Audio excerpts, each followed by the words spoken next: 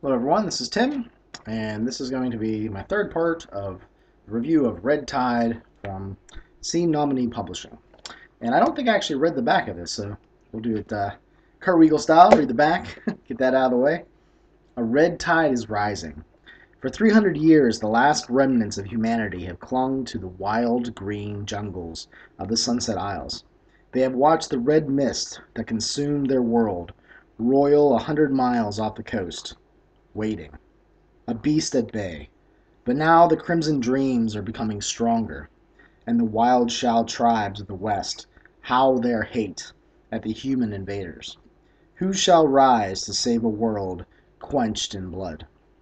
In this book, a Labyrinth Lord, or GM, will find all that is required to run a sandbox campaign of adventure in the Sunset Isles.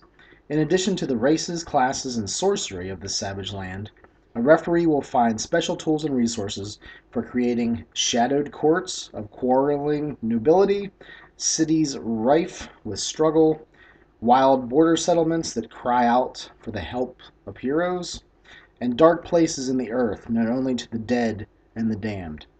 These tools will aid not only campaigns in the Sunset Isles, but also those games in other lands of savage mystery and blood-stained blades. So has a nice little blurb on the back there. The section I'm at now in the review is The Houses of the Lost. And there's a few quotes from this. As in every sandbox campaign, both the players and the GM need to do their own share of the work to bring out all the fun that the game can provide. So in a sandbox campaign, the players have a role to play. They have some work that needs done. The first and most important element of a sandbox campaign is something that isn't there, namely an overarching plot. So to run a sandbox campaign is a little bit different than, say, maybe a campaign that you're used to running. You have like the idea how things are going to work out, and that's not the case with the, uh, the way this is you know, set up to be a sandbox. The second element of a sandbox game is that it is about what the players do. So again, you need some proactive players to get in there, make some decisions, and you know have the consequences come down on them or be good consequences.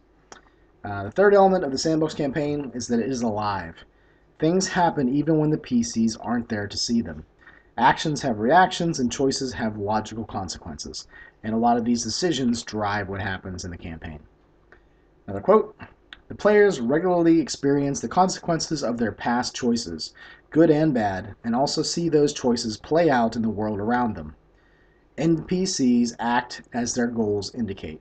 So what that kind of shows you is if you are going to do prep for a sandbox campaign, come up with your NPCs, stat them out, figure out what on earth they want to try to accomplish, and that is what they do. And if they are not stopped, you know, by the players, maybe maybe some NPC factions sort of make them do it in a different way or uh, give them some resistance, but otherwise, those goals are more than likely going to happen.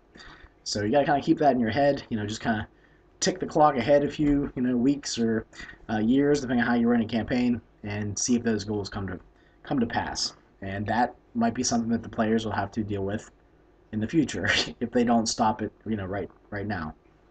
Sandbox campaigns are susceptible to going down in flames if some of the participants don't quite understand what is expected of them. So if you have more passive players, people that don't want to sort of drive the story on, that can be a problem for a sandbox campaign. Players need to drive the campaign and have character goals they will work towards. Players should not rely on the GM to nudge or push them. Um, and again, just be proactive as players. The world is not equal to your character level. Things are dangerous. Uh, if you don't research or look into something, uh, don't expect it to, you know, equal uh, a certain challenge rating. Um, you should be prepared to run away. Uh, don't just go headlong into combat and everything that you bump into. Uh, this sort of game, at least the way that uh, the author is putting it forth, there's no plot armor uh, or script immunity. So, you know, there is lethality. So, because there's no overarching plot, you're not going to have, like, one of the characters be the chosen one. Uh, so it doesn't matter if that character dies, you know? It's just, uh, it's just the story that emerges is the one that you're telling at the table. It it just happens. It's not something that you plan ahead of time. GM needs to prepare the sandbox ahead of time, like I said, with NPCs, groups, factions, um, things that are in certain places, like the, the main cities I went over, those are there. This uh, suggested as being uh, having some things just ready, like uh, like a small village, or here's a ruined temple, and if uh, you know you're kind of running out of ideas or you don't have anything prepped, you can pull that out. So um, even though it says to prepare it all ahead of time, um, like a true sandbox, you pretty much have everything figured out where it is, and then they bump into it as they go. So you know there's a little bit of flexibility there. He talks about GM Binder, how to fill it with like people, places, encounters, uh, chronicle, like what has happened so far, and maps. And as far as GM binders go, I've actually been trying to work on one for uh, some future 5th edition campaign, Deep Dungeons and Dragons. And it's it can be a lot of work if you want to put a, a bunch of random charts in there, uh, pictures, things that inspire you. So you know, that can be, that's probably a video in and of itself, but, but it's something to think about. Um, goes through and lists a bunch of sites, court, urban, borderland, ruins, and um, you know they're basically handy to, to throw in there when you need them. Uh, so it suggests making one of the cities as the home base for a campaign. Uh, it also suggests the GM should be more uh, active, you know, more of a take a more of an active role in the first adventure, and then sort of step back a little bit and let the players be more proactive. Especially that is probably true if um, your players are used to sort of you know having the hook in their mouth and being dragged along everywhere. Uh, sort of like baby steps into a sandbox campaign. Uh, keep your prep updated as you go. Make sure you take good notes. That's sometimes where I fall a little short, but uh, you can record sessions and later take notes. I do that sometimes. Things should happen that have nothing to do with the characters. Like I said, it's, it's a living world that's going on. There's a bunch of court sites that are listed and random tables there. There's borderland sites that it goes through. Uh, all kinds of different things that you can include. There's random tables. And there's tags. This is kind of interesting. These are sort of, uh, sort of, they're already fleshed out and you can associate a certain tag with a certain site. And it, it adds a little bit more flavor, gives a little bit more detail, and it's pretty much all done for you, so that's very handy. Um, I love the, the back of this, this book. Yes, it's all set up for a campaign in the Sunset Isles, but it would not be very hard to take this sort of approach and apply it to any sandbox campaign. Just see how he does it, uh, reskin some of the definitions and descriptions of some of these things, and I think it'd be very handy. So even if you didn't want to run a campaign in the Sunset Isles with the, the red mist coming and all that kind of stuff, it, I think it'd be a very useful book to have at the table, or at least a book that you could use during your GM prep session. All right. Uh, has the city sites, and there are four big cities. There's Xian, uh, Tianlong, and Kitaminatu. And these kind of go and show you a little bit of like how you can flesh them out a little bit more.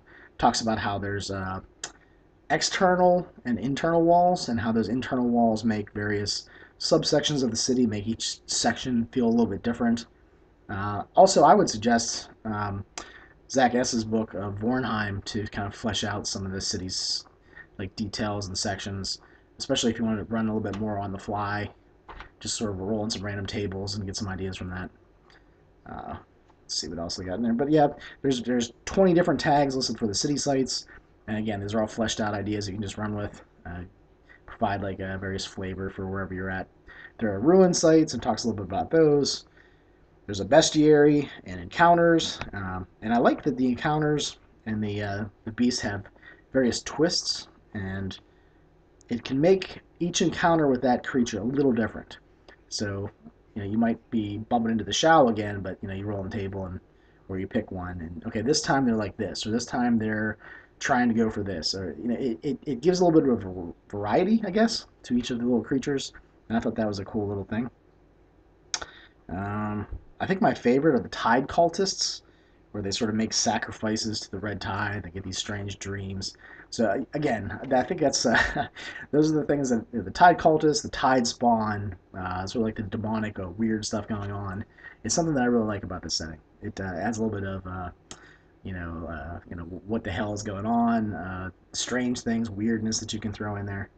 and I just like dreams, so that could be that could be fun too as a GM to maybe try to tempt some of the players with the dreams of the mist. And you know, maybe they don't doesn't really latch onto them, but it sort of just dangles out there like, you know, whenever they need power or uh, I don't know. You could have a lot of fun with that as the GM, I think.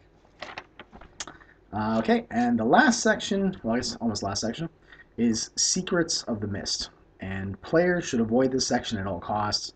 It's lots of spoilers for some of the things that are going on behind the scenes. As a GM, I really enjoyed reading this. It, uh, you know, like, oh my, that'd be great. Uh, so I'm not going to review that in the video itself. I'm sure you can, it's a free download. You can go check it out if you want. But, you know, I, I wouldn't do it if I was a player. It did give me a, an evil GM grin a few times, and I can tell that, uh, again, I like the writing. It just, uh, it just speaks to me. It uh, makes me want to run the setting. So, I mean, that's, that's what you want in an RPG book. Last section is game resources, and it suggests to also download Stars Without Number, which is a OSR sci-fi game for various random tables that can you know be used for the GM. That you know while that book is sci-fi, there's some that are kind of genre neutral, I guess, and that's what he suggests to, to pick up. So again, that's also a free download. I'll try to put a link down below. But there's naming tables, pronunciation guides, which, you know, I butcher language, so that's always kind of nice to have those in there, even though, even when I have them, I tend to, I'm just not very good with language, so it kind of goes in one ear and out, out the other, but, but it's there if you need to try, try to brush up on that. There is clothing and cuisine listed for each of the various cultures, like the Dwarven, Erengard, Elven, Eshkanti, Gadal, Halfling, Imperial, the Ku, the Shao, and the Skander. There's businesses, NPC generation, room dressing tables that reminded me of the AD&D First Edition Dungeon Master's Guide. Maps and mapping. There are some generic maps that are sort of given there, so you can make them a little village or a little temple. You know, things like adventure sites you can throw in there if, if things are a little slow. So, so again, it's it, it it's it's very much like pushing that sandbox thing, but it's kind of hedging its bets bets a little bit with some of this prep work where you can throw something in if you need uh, you know something for the, the players to, to deal with. And it's it's helpful to have some maps. I would suggest going online. There's plenty of maps out there. There's lots of Google Plus groups of uh, you know various map cartography guilds and so forth. And really, I don't know about you, but my Google Plus feed is like almost all gamers. So I have all kinds of images, like way more than I'll ever need on my hard drive. Probably too much to even uh, usefully uh, you know, take and actually, you know, use in a campaign. There's just too much there. I have to organize them. But yeah, look online for resources like that. There is a, a hex map of the island, and again, I, the, the the key is a little too small, but I like that this looks like it's like hexographer, and you can, you know, color it in or uh, you know just just rekey it for things that you want to include in your campaign. And then there's an index at the end. So that was my review of Red Tide it uses Labyrinth Lord, which is also a free download. So again, with a lot of the OSR games, you can get like artless versions of them for free. And I think that's probably one of the biggest strengths of the OSR games is that, you know, especially if you have players that are don't really want to spend a lot of money on, on games, you go, well, okay, you don't want to spend a game or spend money on a game. Here's the here's the link. Go print it out on your own uh, PC or you know only the sections you need for character generation, whatever you got to do. But it's there. Go grab it for free. So Red Tide, I recommend it. I like island settings. This has a post-apocalyptic sort of uh, feel in the outskirts there. There's some secrets about how it all works. Um, the Shao can be like the, the orcs, the they're always evil type things, or you can make it more complicated, and some of the player characters would have some empathy towards their plight of being a, a native culture and having a bunch of humans invade. So take it as it is run it the way you like.